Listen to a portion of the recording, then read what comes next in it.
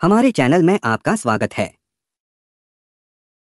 सेब खाने का सही समय शरीर के लिए फ़ायदेमंद है। सेब सेब में काफ़ी सारे पौष्टिक तत्व होते हैं, जो शरीर की इम्यूनिटी बढ़ाने के साथ साथ कई तरह के लाभ दे सकते हैं। आयुर्वेद के अनुसार भी कई चीज़ें ऐसी होती हैं, जिनका सेवन केवल कुछ निर्धारित समय पर ही करना चाहिए। पूरा पोषण प्राप्त करने के लिए आपको सेब खाने का सही तरीका पता होना चाहिए। सेब का सेवन आपको हमेशा सुबह के समय ही करना चाहिए।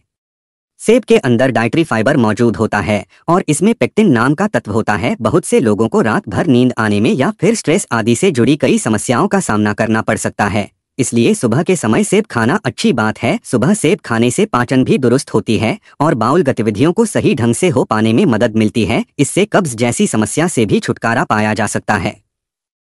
सेब को छील कर नहीं खाना चाहिए। सुबह हो सके तो इसे बिना काटे और ऐसे ही प्राकृतिक रूप में खाएँ। सुबह सुबह पूरा शरीर डिटॉक्स हो जाता है, सेब के छिलके में ही पेक्टिन पाया जाता है, साथ ही सेब को शाम के समय या फिर सोते समय भी नहीं खाना चाहिए। पेक्टिन कोलोन के अंदर पाए जाने वाले बैक्टीरिया को खत्म करने में सहायक है। इससे हेल्दी डाइजेस्टिव सिस्टम में मदद मिलती है, पेक्टिन से टॉक्सिन से छुटकारा पाने में भी मदद मिलती है।